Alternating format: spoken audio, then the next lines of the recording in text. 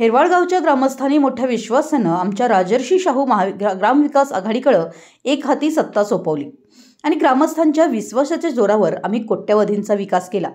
आणि हेरवाड गावचं नाव देशपातळीवर पोहोचवलं हे जनतेला माहीत आहे. आम्ही काम करणारी मंडळी आहोत. आम्ही आश्वासनं कधी देत नाही.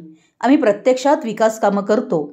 मागील निवडणुकीत गावासमोर आमच्या राजर्षी शाहू ग्रामविकास आघाडीनं जो जाहीरनामा दिला होता त्या जाहीरनाम्यानुसार गावातील अनेक विकास कामं मार्गी लागली आहेत. त्यामुळे विरोधक काय बोलतात काय टीका करतात याकडे आम्ही लक्ष देत नाही. त्यांना हेरवाडची जनता येणाऱ्या अठरा डिसेंबरला मतपेटीतून विरोधकांना उत्तर देईल असं कर्तृत्ववान माजी लोकनियुक्त सरपंच सुरगोंडा पाटील यांनी सांगितलं. मराठी एस न्यूजसाठी कुरुंदवाडहून संदीप अडसूळ निवडणुकीत ग्रामपंचायत निवडणुकीत आमची राजश्री शाहू ग्रामविकास पॅनेल अ, लावलेला आहे. गेल्या पाच वर्षात सत्ताधारी म्हणून कामं जो जाहीरनामा काढला होता त्यातली जवळजवळ सर्व कामं आम्ही जाहीरनाम्याची पूर्ण केली आहे. आणि त्या विकास कामाच्या जोरावर आज अठरा पदकाचे आणि बारा बारा बंदीदार यांना घेऊन आणि त्या सर्वांना न्याय मिळा मिळाला पाहिजे.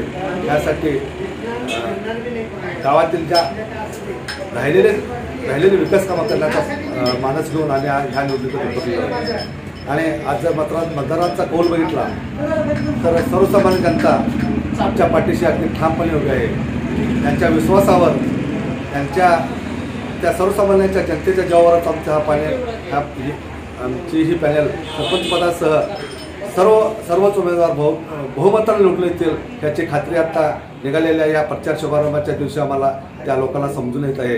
किंवा तुम्ही देखील बघू शकता जी सर्वसामान्य जनता आज आमच्या पाठीशी उभी आहे. किंबहुना ते गेलेल्या काही काळात केलेल्या कामाची पोचपावती म्हणतात तरी देखील वावं ठरणार नाही. त्याचबरोबर काही आम्ही ऐतिहासिक निर्णय घेतला आणि त्याचं ते संपूर्ण राज्य राज्यात आणि देशात त्याचं त्याची दखल घेतली गेली आहे. जेणेकरून राज्याला त्याचं हेरवड पॅटर्न म्हणून देखील गौरव केला. ह्या त्याच्या बळावर आणि असेच बरीचशी कामं जी आम्हाला आमच्या काळात म्हणजे आमच्या संतबाई देवस्थानला ब वर्गाचा दर्जा देणं असू दे किंवा एखाद्या समाजाला गोळ कब्रस्तानसाठी जागा देण्याचा प्रयत्न आम्ही केला जे आपल्या पाठीमागील जाहीरनाम्यात केला ते सगळी कामं आम्ही पूर्ण केलेली आहेत. आणि त्या बळावरच आज आम्ही या निवडणुकीला सामोरं जात आहोत.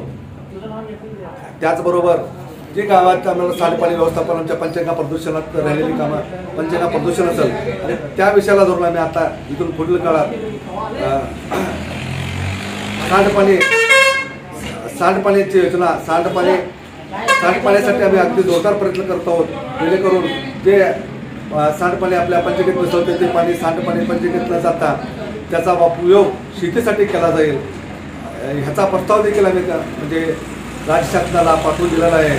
आणि त्याचा पाठपुरावा आहे तो पुढील काळात करून आपल्या गावातील गावातील जनतेची जी आरोग्यविषयक समस्या असतील आणि आरोग्यविषयक असतील किंवा ज्या ज्या समस्या असतील त्या सगळ्या समस्या निवार निवारण्याचं काम आमच्या पॅनलतर्फे केलं जाईल. आणि त्या सर्वसामान्याला न्याय देण्याचं काम आमचं पॅनल करून यात मात्र शंका राहणार नाही.